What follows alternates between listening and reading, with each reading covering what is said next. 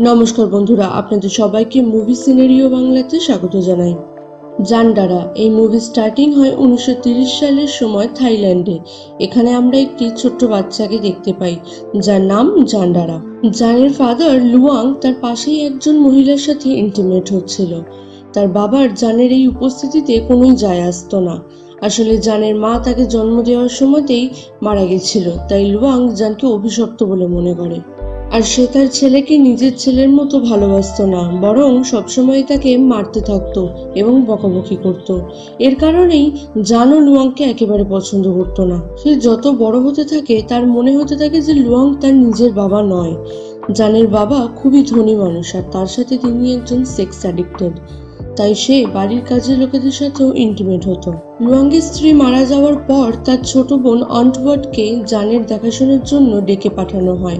আন্টওয়ার্ড জানের খুবই ভালোভাবে কেয়ার করত আর সেই কারণেও জান তাকে খুব পছন্দ করত। কিন্তু লুয়াং আন্টওয়ার্ডের সাথেও ইন্টিমেট হতো। এমনকি সে তার ওয়াইফের ছবির সামনেও তার সাথে ইন্টিমেট হতো। আর এই কারণেই কিছুদিন পর আন্টওয়ার্ড প্রেগনেন্ট হয়ে যায় আর সে একটি ছোট্ট মেয়ের জন্ম দেয়, যার নাম খেউ রাখা হয়েছিল। লুয়াং তার মেয়ে খেউকে খুব ভালোবাসতো কিন্তু সেও খেউকে নিজের মতনই বিগড়ে দিয়েছিল। কিন্তু অন্যদিকে অন্টওয়ার্ড জানকে নিজের ছেলের মতো ভালোবাসতো, আর বিগড়ে যাওয়া খেউয়ের দিকে নজরও দিত না। আর এভাবেই সময় যেতে যেতে জান বড় হয় এবং তার সাথে খেউও বড় হয়ে যায়। কিছুদিন পর জানের এক নতুন কাজের লোক খেনের সাথে পরিচয় হয়। তাদের দুজনের বয়সই মোটামুটি একই ছিল, তাই তাদের মধ্যে খুব ভালো বন্ধুত্ব হয়ে যায়।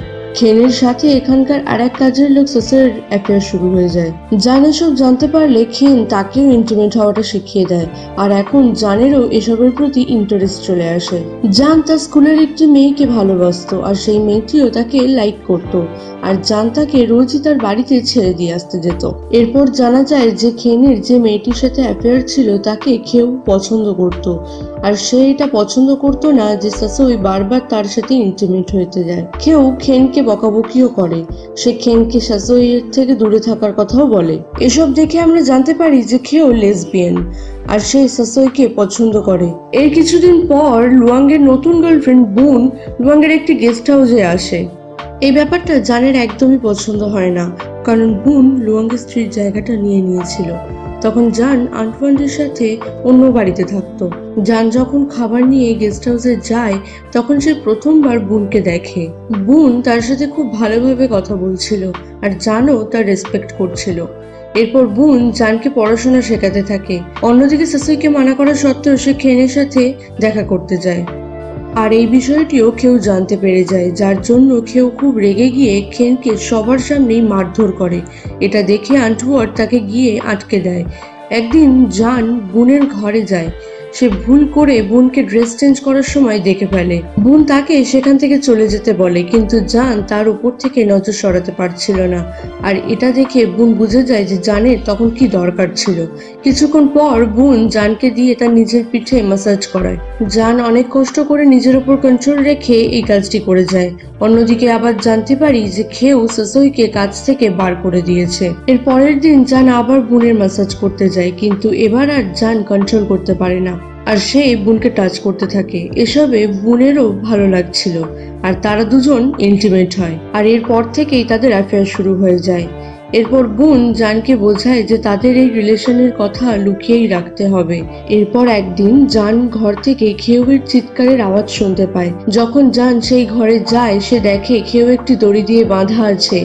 আর সেখানেই তার সামনে খেন দাঁড়িয়ে আছে। এসব দেখে জানের মনে হয় যে খেন খেউয়ের ওপর রেপ করার চেষ্টা করছিল, আর তাই সে খেনকে মারতে শুরু করে। খেন জানকে বোঝায় যে সে যেটা ভাবছে সেটা সত্যি না, বরং খেউই তাকে বলেছিল এসব করার কথা। এরপর জান খেউকে হাসতে দেখে, আর সে বুঝে যায় যে খেনই সত্যি কথা বলছে। তারপর সেখানে আন্টওয়ার্ড চলে আসে। খেউ উল্টে জানকেই ফাঁসিয়ে দেয়, আর সে তাকে বলে যে জান তার রেপ করার চেষ্টা করছিল। আর যখন খেন তাকে বাঁচাতে আসে, তখন সে খেনকে খুব মারে। এসব শুনে খেন আন্টওয়ার্ডকে সব সত্যিটা বলতে চায়, কিন্তু জান তাকে আটকে দেয় এবং বলতে দেয় না। আন্ডওয়ার্ড খেউয়ের কথাটা কিছুতেই বিশ্বাস করতে পারছিল না, আর সে জানতো যে জান এমন করতেই পারে না জান নির্দোষ। রাতে যখন লুয়াং এই বিষয়টি জানতে পারে, তখন আন্টুয়ার তাকেও বোঝায় যে সে এরকম কাজ করতে পারে না, কিন্তু লুয়াং তার মেয়েকেই বেশি ভরসা করত। অপরদিকে জান খেংকে বলে যে সে যেন সত্যিটা কাউকে না বলে, না হলে তার পুরো ফ্যামিলিকে কাছ থেকে বের করে দেওয়া হবে। এরপর জান তার বাবার কাছে যায়। লুয়াং তাকে লাঠি দিয়ে মারতে যায়, কিন্তু জান আর ছোট ছিল না, তাই সে লুয়াংয়ের হাতটা ধরে নেয়। এটা দেখে লুয়াং আরও রেগে যায়, আর সে জানকে গুলি করার জন্য বন্দুকটা বার করে। কিন্তু আন্টওয়ার্ড তাকে আটকে দেয়। লুয়াং বলে যে জানের মুখটাও সে দেখতে চায় না। সে যেন বাড়ি থেকে অনেক দূরে চলে যায় আর সে তাকে প্রপার্টির কোনো ভাগও দেবে না। এসব শুনে জান বাড়ি ছেড়ে চলে যাওয়ার কথা ঠিক করে। জান এখান থেকে যাওয়ার আগে খেন আনফোর্ডকে সবটা বলতে আসে, কিন্তু সেখানেও জান তাকে আটকে দেয়। তারপর জান আনফোর্ডকে এই প্রশ্ন করে যে লুয়াং তাকে এত ঘেন্না কেন করে? আর সে কি আদেও তার নিজের বাবা? তখন আন্টওয়ার্ড তাকে সত্যিটা বলে যে জানের মা যখন আঠারো বছরের ছিল, তখন সে খুবই সুন্দরী ছিল। তার একজনের সাথে অ্যাফেয়ার চলছিল। কিন্তু সেই ছেলেটি একদিন জেনে শুনে তাকে একটি জঙ্গলে নিয়ে যায় আর তার রেপ করে, যার কিছু সময় পর সে প্রেগনেন্ট হয়ে পড়ে। এই কথা লুকোনোর জন্য জানের মায়ের সাথে লুয়াঙ্গের বিয়ে করিয়ে দেওয়া হয়। সেই সময় লুয়াং জানতো না যে জানের মা প্রেগনেন্ট ছিল। আর সে যখন জানকে জন্ম দেয়, তখন লুয়াং বুঝতে পারে যে জান অন্য কোনো একজনের সন্তান। আর তাই সে সবসময় জানকে অ্যাডিউস করত। এসব জানার পর জান বাড়ি ছেড়ে চলে যায়। কিন্তু আবার কিছু মাস পর জানকে বাড়িতে ডেকে পাঠানো হয়। আসলে কেউ প্রেগনেন্ট হয়ে গেছিল। আর সেই যদি বিয়ে ছাড়া কোনো বাচ্চার জন্ম দেয়, তাহলে তার ফ্যামিলির রেপুটেশন খারাপ হয়ে যাবে। তাই জানকে কেউকে বিয়ে করার কথা বলা হয়। জান এই প্রস্তাবে রাজিও হয়ে যায়, কিন্তু তার একটি শর্ত ছিল, সেটি হলো লুয়াংয়ের সব প্রপার্টি জানের নামে করে দিতে হবে। এই কথাটা লুয়াং একেবারেই পছন্দ করে না, কিন্তু তাকে বাধ্য হয়ে সেটা করতে হয়। আসলে কেউ লুয়াংয়েরই বাচ্চার জন্ম দিতে চলেছিল, কিন্তু এই কথাটা খেউ আর লুয়াং ছাড়া কেউই জানতো না। আর তারা এই কীর্তি লুকোনোর জন্যই লুয়াং জানের সমস্ত কথা শুনতে রাজি হয়ে যায়। এরপর জান বোনের সাথে দেখা করে, আর সেও জানকে দেখে খুবই খুশি হয়, আর তারা দুজনেই ইন্টিমেট হয়। এরপর জান তার স্কুলের গার্লফ্রেন্ডের সাথে দেখা করতে যায়। আসলে এটাই সেই মেয়েটি ছিল, যাকে জান ভালোবাসতো।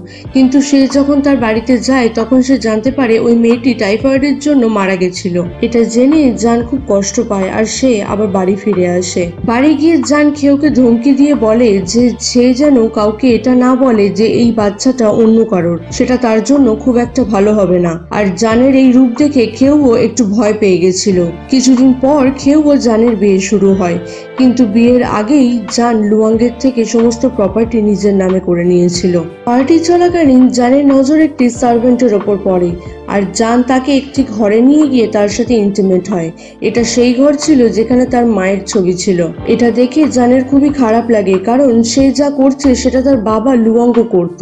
আর এখন জানও তার বাবার মতনই হয়ে যাচ্ছিল। আর কিছুদিন পর খেউ লুয়াঙ্গের বাচ্চার জন্ম দেয়। কিন্তু খেউ সেই বাচ্চাটিকে অভিশপ্ত বলে দেয়। ঠিক তেমনই যেমন লুয়াং জানকে বলেছিল। এরপর আন্টওয়ার্ড সেই বাড়ি ছেড়ে চলে যায়। এরকম কিছুদিন কেটে যায়। এরপর যুদ্ধ শুরু হয়ে যায় আর শহরে বোম পড়তে থাকে। জান সব মানুষদের সাথে বেসমেন্টে লুকিয়ে পড়ে। কিন্তু সে সেখানে বুন ও খেউকে দেখতে পায় না। তাই সে তাদের খোঁজার জন্য আবার বাড়িতে যায়। সেখানে গিয়ে সে দেখে যে বুন ও খেউ দুজনে ইন্টিমেট হচ্ছিল। জানের অনেক বড় একটা ঝটকা লাগে। পরের দিন খেউ জানকে বোঝায় যে জানের এখান থেকে চলে যাওয়ার পরই তাদের অ্যাফেয়ার শুরু হয়েছিল। তারপর খেউ জানকে বলে যে তারা দুজনেই একসাথে বোনের সাথে রিলেশন রাখতে পারে। জান এই প্রস্তাবে রাজি হয়। কিন্তু এই ব্যাপারটি মানার আগে সে খেউয়ের থেকে তার নিজের একটি বাচ্চার ডিমান্ড করে। খেউ তাকে মানা করে দেয়। কিন্তু জান খেউকে ফোর্স করে আর সে তার রেপ করে। তার কিছুদিন পর খেউ জানের বাচ্চার জন্য প্রেগনেন্ট হয়। একদিন জানের সার্ভেন্ট তাকে বলে যে খেউয়ের কিছু একটা হয়ে গেছে। যখন জান তাকে দেখতে যায়, সে জানতে পারে যে খেউ ফোর্সফুলি তার অ্যাবর্শন করিয়ে ফেলেছে আর সে জানের বাচ্চাটাকে তার পেটে মেরে ফেলেছে। এসবে খেউয়ের কোনো দুঃখ হচ্ছিল না আর সে খুবই খুশি ছিল। সে সেখানে বসেই হাসছিল। তারপর আমাদের অনেক দিনের পরে সিন দেখানো হয়, যেখানে জান খেউয়ের সাথে আর কখনো ইন্টিমেট হয়নি। কারণ সে রিয়েলাইজ করে যে তার বাবার আচরণগুলোই সে রিপিট করছিল। অন্যদিকে লুয়াংয়ের শরীর পুরোপুরি খারাপ হয়ে যাচ্ছিল। আর সে কিছুদিনেরই অতিথি মাত্র অন্যদিকে খেয়েও পুরো লুয়াঙ্কের মতো আচরণ শুরু করেছিল আর সে বাড়ির সমস্ত সার্ভেন্টদের সাথে ইন্টিমেট হতো। মুভির লাস্টে আমাদের রিভিউতে দেখানো হয় যে জানের মায়ের আসলে গ্যাং রেপ হয়েছিল আর সেই গ্যাং রেপের জন্যই জানের জন্ম হয়েছিল। এই সত্যিটা রিভিল হওয়ার পরেই মুভিটা সেখানেই শেষ হয়ে যায়।